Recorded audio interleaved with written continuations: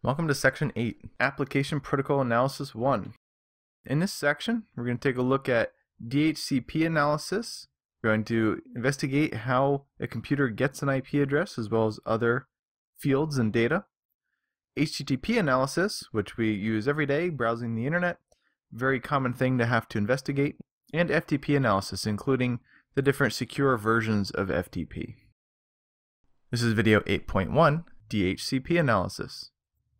In this video, we're going to take a look at how DHCP works, some of the fields that are within the DHCP protocol, watch a client retrieve an IP address, and really take a look at what happens with DHCP when a client requests for an address and receives responses. So as usual, let's start a packet capture. And what I'm going to do is release the address on my computer here and then renew it. What we can do is with ipconfig slash release on a Windows computer, we can release our address, and then if we do ipconfig slash renew, it will get us a new address. Now if we take a look at ipconfig slash all, we should be able to see our address is assigned. Very good. And we'll stop our capture. And of course, with our big packet capture here, we're going to want to only pick out the DHCP traffic. So you would assume you could go up to the display filter and type DHCP, just like we've done for the other protocols, and just push enter and it works. But we see that there's a red bar up there. DHCP is not valid. Now why is that? Because the display filter is actually bootp. DHCP is based off of BootP. BootP was the predecessor protocol to DHCP. So in Wireshark, they use the predecessor's protocols filter. So you want to use BootP. So if we use BootP, we'll see that we have our DHCP release and discover. So this first packet here is the release. So my system already had an IP address and it wanted to get rid of it. So it sent a packet to the DHCP server, which is 77.1 here, and it said, please get rid of my address. And if we look into our DHCP details here, you see it says Bootstrap Protocol. That's where BootP comes from. And we scroll down to the bottom, you see Options. And if you look at option 53, it says we have a release. So that's where it's requesting to get rid of its address. The system then at that point has no address and the local client erases the IP address from its information on the network interface card. Then after that I initiated the DHCP renew command which told it to go get an address. Now I did this because my system had already been up and had already retrieved a DHCP address on boot before I did my video capture. Commonly a system will retrieve IP information, and other configuration options from a DHCP server on boot of the operating system. But since my system had already had an address, I had to get rid of it and then forcibly tell it to get a new one with that slash renew command. When a system requests for an address, it initiates with a discover request. And you can see that the discover, which down here we have option 53, discover, it sent it out to a broadcast, all 255s. That's because the client doesn't have an IP address. You see it has 0000 as its source. It doesn't know where it needs to go to go talk to the DHCP server. So it sends it out to a broadcast address, hoping that anybody will respond to its request for a DHCP server. And so what that is, is the discover packet is asking for a DHCP server. It says, I'm trying to discover a server. If you have multiple servers on a subnet, it, you may get a different server offering itself from time to time. That can cause problems sometimes depending on your network design. If you have a simple network, such as a, home network, and you have two DHCP servers, most likely one of those is, is by accident.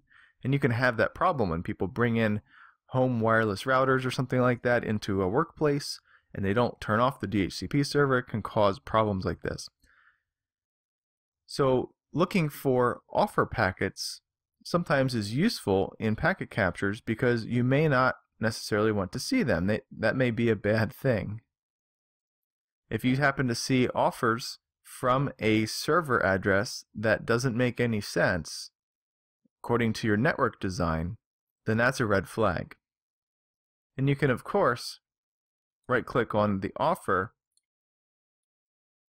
and select that as a filter so that you can filter all of your packet captures off of, based off of just the offer. You see that we've only pulled out the offers here. So if we had a whole bunch of offers from a bunch of different servers, that could be a problem.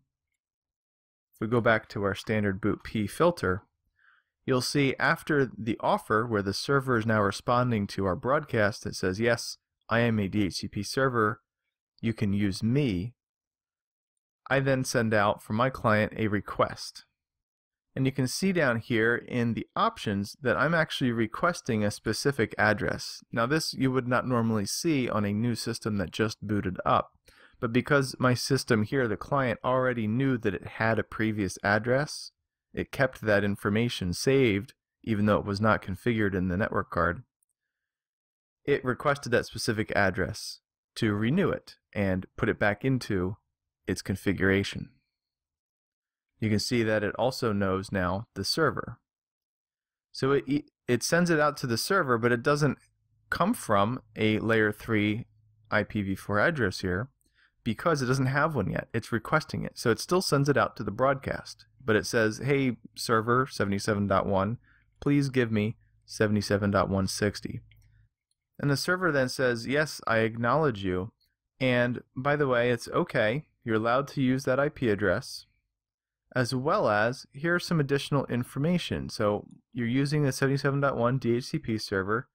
Oh, and by the way, here's how long your lease time is. It's good for one day. That can be customized. Here's your subnet mask. Here's the domain name, if applicable.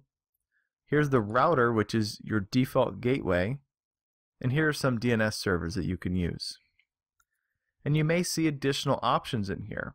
These option numbers reflect a whole bunch of different things that you can configure in DHCP. It's not just for IP addresses. You'll see this commonly used with uh, voice over IP phones because you can pass different options such as option 43. You actually tell it what VLAN it needs to belong to and force it to the other VLAN. And then you can also tell it where the TFTP server is to retrieve firmware information, all sorts of different things that you can send to a device to automatically configure it. That's why they call it the Dynamic Host Configuration Protocol. It's not just for IP. If you want to learn more about it, you can, of course, take a look at the RFC. The RFC for DHCP, remember this is the upgraded version of BootP, is 2131. And you see it's quite a lengthy document. There's quite a bit in here. And it goes through a lot of the functionality of DHCP. Now it will not include every single option and every single thing that you can configure because some of them are vendor specific. And of course DHCP has been extended since 1997 with additional added on features. Then our next two packets we see DHCP inform and these are requests from my client now that it has its layer 3 IPv4 address.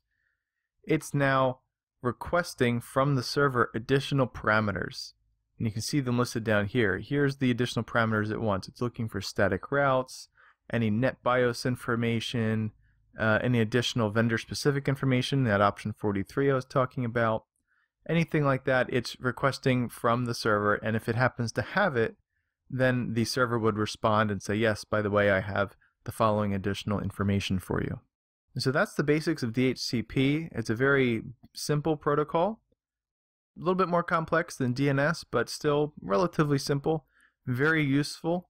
There is a IPv6 version of DHCP, and as well as many other ways of addressing IPv6 hosts. Up next, we're going to take a look at HTTP in HTTP Analysis 1.